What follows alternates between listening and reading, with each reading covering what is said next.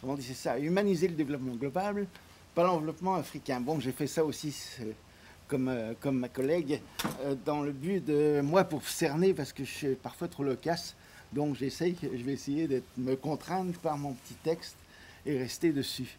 Euh, donc, enfin, l'approche est, disons, j'ai été absolument stupéfait et émerveillé par les présentations précédentes, d'hier et d'aujourd'hui, qui sont, pour la plupart, sinon toutes, extrêmement pointues, extrêmement précises et portent sur des sujets vraiment bien délimités.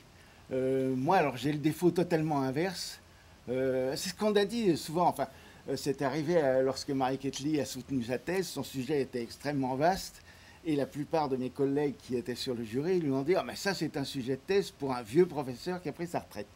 Donc, comme je suis un vieux professeur qui a pris sa retraite, je peux me permettre de ratisser très large. Il y a un inconvénient fondamental quand on ratisse large, de la culture à l'agriculture. C'est la même chose, c'est qu'on ne va pas très profond. Euh, bon, enfin, on me reprochera donc, chaque personne qui, qui utilise un socle qui va très profondément pourra toujours me prendre dans chaque détail et me montrer que euh, je n'ai pas compris euh, l'aspect de chaque détail que j'évoque. Bon, Vous les coups, là. Bah ouais, autant s'auto-critiquer. c'est ça fait moins mal. ça fait moins mal et puis déjà, on a prévenu. Bon, comment ça fait pour passer à l'autre C'est là oui. Voilà.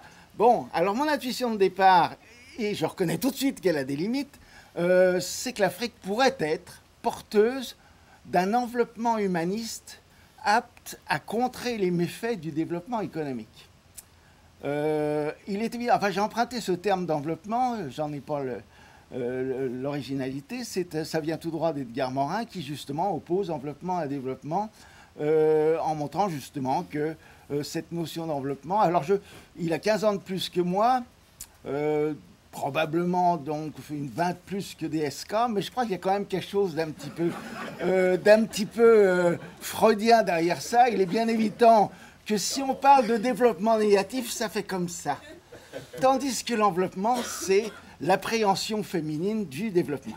Euh, bon, on voit très bien ce à quoi ça peut faire allusion là-dessus, mais euh, j'insiste quand même parce que le côté féminin est extrêmement important. Et quand on vieillit, l'homme acquiert euh, des, des, hormones féminines, pareil finit par comprendre. Quoi. Voilà. Et merci de me l'avoir dit aussi, c'est vous qui le dites. Et bon, je ne passerai pas sur la famille, donc c'est très important comme pour euh, aussi de, confort. Bon, alors donc je pose la notion de développement à celle d'enveloppement, et j'y vais carrément, euh, parce que je, moi je suis persuadé que depuis Reagan et Thatcher, c'est l'Occident est foutu. Le seul gars qui avait compris, le seul président américain qui avait compris, c'était Carter il avait, il avait fait faire une enquête qui, s'est soldée par un rapport qui s'intitule euh, Strength True Wisdom. C'est pas trop mal pour un C'est la, la, force au travers de la sagesse, et la sagesse, ça consistait à connaître les autres, parce qu'il s'était rendu compte que les Américains étaient des exhibitionnistes qui, intellectuellement, je parle, remarqué dans l'autre sens aussi, euh, mais euh, dans tous les cas, les Américains s'intéressaient pas aux autres, et quand Reagan est arrivé, au lieu d'essayer de comprendre ce que faisait le reste du monde, il a dit on s'en fout, c'est nous le modèle, copiez-nous, suivez-nous, etc. Et donc on va à fond dans la connerie qu'on a toujours fait depuis qu'on est arrivé. Et je vous rappelle que le plus grand génocide, c'est pas sur la Shoah, c'est pas l'Ouganda, c'est les Amérindiens. 40 millions de morts, pas forcément par les Américains, commencé par Cortés, euh, mais conclu par euh, en Amérique du Nord, je suis désolé, mais les Blancs sont des pieds noirs. Hein, qui ont conquis un territoire qui ne leur appartenait pas. Je me souviens avoir vu une très belle carte faite par les Indiens autochtones qui laissait aux Blancs peut-être quelques rochers sur le Saint-Laurent parce qu'ils n'y étaient jamais allés.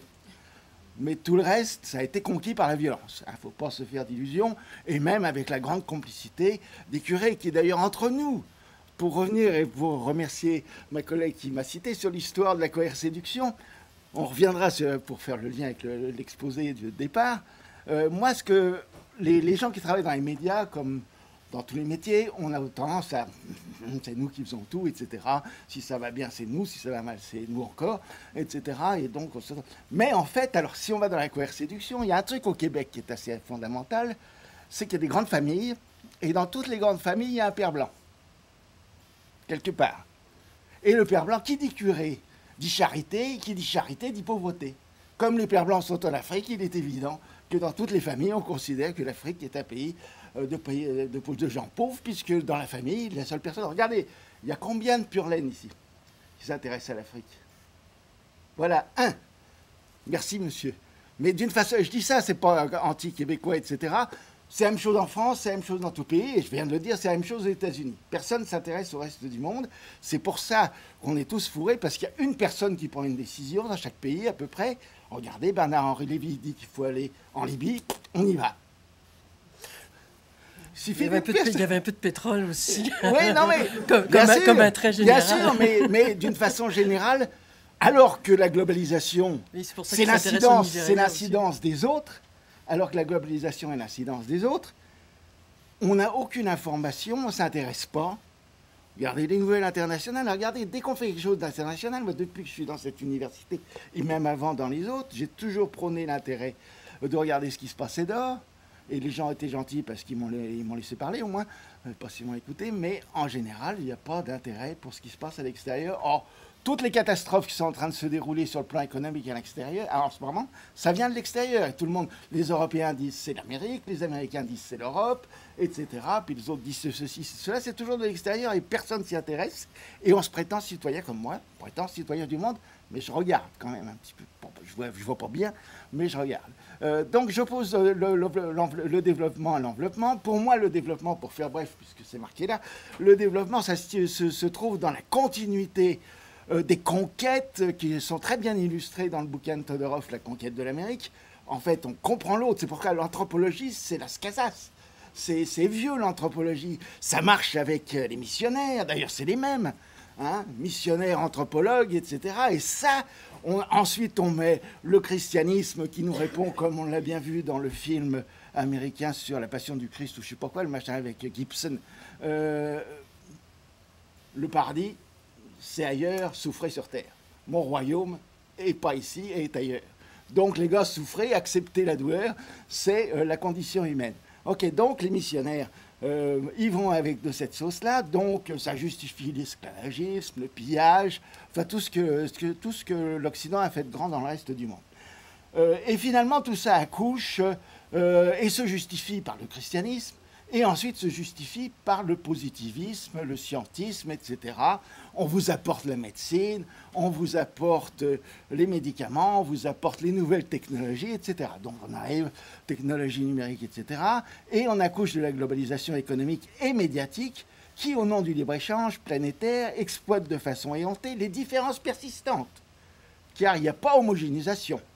Les différences persistantes sur les plans géographiques, différences climatiques, différences géologiques et humains, différences culturelles, ethno-religieuses, sociales, politiques, juridiques, mettez-en. Bon, donc pour moi, j'ai une vision extrêmement critique du développement qui, euh, effectivement, est très vieille, d'ailleurs, euh, est très masculin. Enfin, c'est vraiment la conquête, c'est vraiment le truc, et on exploite l'esclavage, etc., d'une forme ou d'une autre. Et ça dure. Ça dure, ça perdure.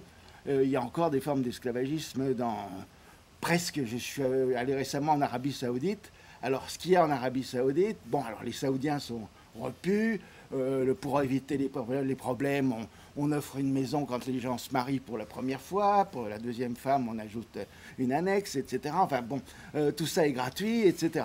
Par contre, on va chercher le personnel qui travaille euh, au Pakistan, en Afrique, en, aux Indes, etc. Et alors là, quand ça marche, c'est très bien.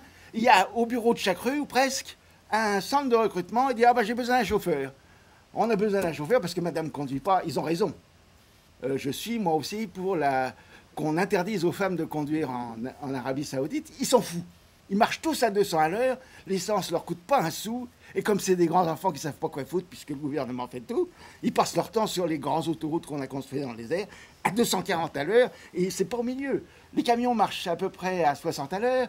Il y a deux, trois civilisés qui marquent à 130, qui est la, vitesse maximale. Et dans les deux bandes de, de, sécurité, ils marchent à 240. Alors il y a plein d'accidents partout. Il y a même des hélicoptères qui tournent toujours pour aller chercher les blessés quand il y en a un. Et ils disent c'est pas grave, c'est pas de votre faute, c'est Allah qui l'a voulu. Bon, extraordinaire. Alors,